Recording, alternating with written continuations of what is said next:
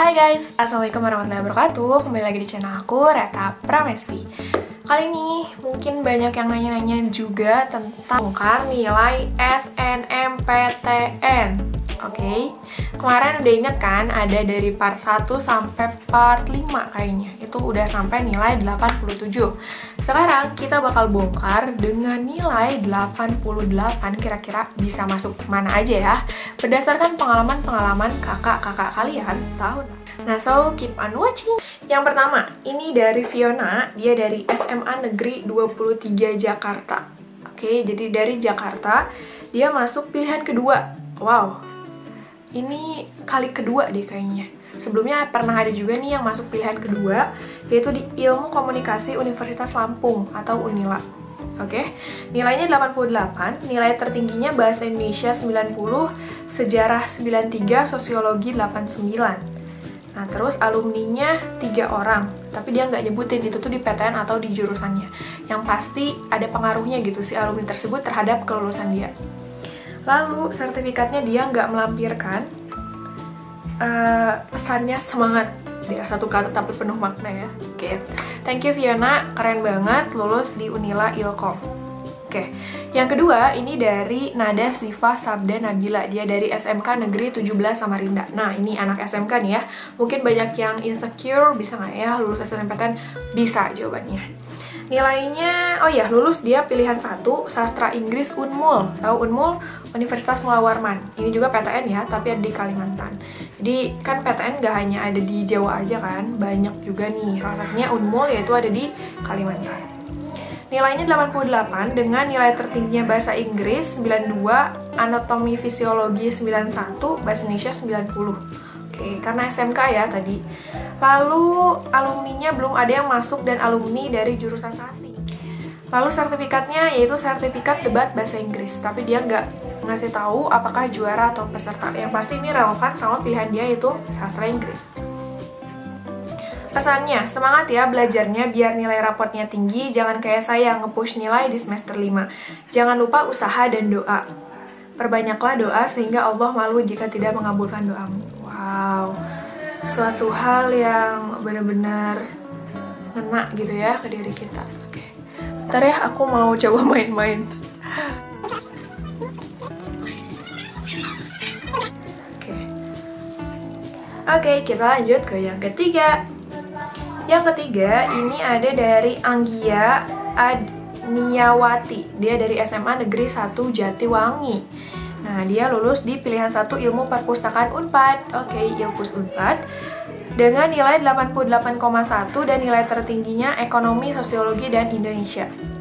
Alumninya satu orang, sertifikatnya nggak ada, dan juga pesannya selalu optimis, ikhtiar, tawakal, berdoa, dan juga jangan lupa minta restu kedua orang tua. Oke, yang keempat ini dari Surya Alvin Mauludin. Dia dari SMA Negeri 1 Ciamis, lulus pilihan 1 Ilmu Komputer UPI. Oke. Ilko mirip-mirip sama TI, TI gitu ya, jadi emang lumayan tinggi gitu. Nah, lalu nilai dia 88,1 dengan nilai tertinggi biologi 90,2. Oke, kirain matematika ya, atau uh, fisika gitu, ternyata di biologi. Lalu uh, alumninya ada di PTN 10 orang, jurusan nggak ada. Sertifikatnya sertifikat organisasi aja, tapi dia nggak nggak ngasih tahu nih maksudnya perannya apa gitu. Lalu pesannya tetap semangat, rajin berdoa, rajin cari informasi dan masuk grup MLK. Supaya banyak informasi tambahan yang sangat berharga. Terima kasih Kareta Mentor Lulus Kampus. Ya. Sama-sama Surya, keren banget. Lanjut ke yang kelima, ini dari Putri Yunia.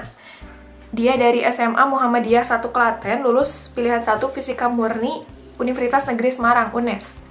Dengan nilai 88,2 Uh, dan nilai tertingginya fisika yaitu 93. Oke, okay. fisika murni. Bagusnya di fisika. Oke, okay, relevan. Nah, lalu di alumninya itu sudah enam tahun tidak ada alumni. Oke, okay. jadi pendobrak ya. Jadi tahun ketujuh ternyata ada nih Putri, keren. Sertifikat nggak ada, pesannya dari aku adik-adik terus semangat belajar, jangan lupa kewajiban kita sholat lima waktu, ditambah sholat tahajud, pilih yang peluang masuknya besar dan sesuai dengan minat dan bakat kalian. Perbanyak usaha, doa, dan tawakal, jangan lupa minta doa restu kepada orang tua, dan saling mendoakan sesama umat. Jaga nilai kalian jangan sampai ada yang turun, usahakan selalu naik atau stabil. Nah, ini ya bener banget. Semangat, jangan putus asa. Perjalanan kalian masih panjang. Good luck! Oke, okay, thank you nih Putri. Keren banget. Lanjut ya. Nah, ini yang ditunggu-tunggu. Yang keenam, ini dari Muhammad Yusril Abdul Aziz. Dia dari Seman 1 Soko. Lulus pilihan 2. Oh my god, pilihan 2. Berarti pilihan satunya apa ya? FTTM ITB. Oh, pip pip pip pip calon mantu. Pip pip calon mantu. FTTM ya, Fakultas Teknologi Minyak gitu lah pokoknya ya. Perminyakan ITB nilainya 88,4 dengan nilai tertinggi matematika 91, fisika 90, bahasa Inggris 89. Wow. Oke. Okay. Alumninya ada satu orang. Oh, ibaratnya dia uh, ada gitu ya maksudnya tuh alumni tahun lalu dan dia punya kesempatan juga gitu. Lalu sertifikatnya juga ada tiga guys, yaitu juara 3 Neuron 2019, juara 2 Bioteknologi 2020, juara Harapan 1 Dentin 2020. Pesannya selalu semangat untuk mencapai PTN yang diinginkan. Jangan lupa berdoa dan berusaha, jangan putus asa. Wah, menginspirasi banget nih ya ITB ya. Keren banget gak sih guys? Oke, lanjut. Dari Uca, Svet Svetlulivianka, dia dari Seman 1 Ungaran, lulus pilihan 1 Agribisnis Undip, nilainya 88,6. Lalu uh, nilai tertingginya Biologi 92, Sejarah 92, Inggris 89. Alumninya tahun 2019 di PTN 28 di jurusan D1, oke. Okay? Uh, sertifikatnya peserta agroindustri dan olimpiade biologi. Pesannya ambil start lebih awal mulai kelas 10, mumpung teman-temanmu masih lengah. Usaha di awal santai-santai di akhir nggak ikut UTBK. Aku sendiri aja nggak belajar sama sekali buat UTBK, di mana yang lain pada bingung dan ambis. Soalnya aku optimis lolos karena aku udah usaha selama dua setengah tahun dan alhamdulillah ya aku lolos. Ya mungkin idealnya tetap jaga-jaga belajar UTBK memang tapi entahlah semangat rajinku udah habis tapi aku ganti haluan belajar kedinasan kok. Oke. Okay. Jadi emang udah mempersiapkan betul-betul nih ya Uca dan akhirnya alhamdulillah lulus. Good luck. Lanjut, ini dari Dina Karlina, dia dari SMA Negeri 1 Babadan. Terus uh, pilihan satu kedokteran gigi Universitas Negeri Jember, nilainya 89 dengan nilai tertingginya kimia 92. Alumninya lebih dari 10 di FKG nggak ada alumni, saya pertama. Oke, keren-keren. Terus sertifikatnya juara satu film edukasi tingkat nasional dan pesannya dipersiapkan mulai sekarang, jangan menyerah dan tetap semangat.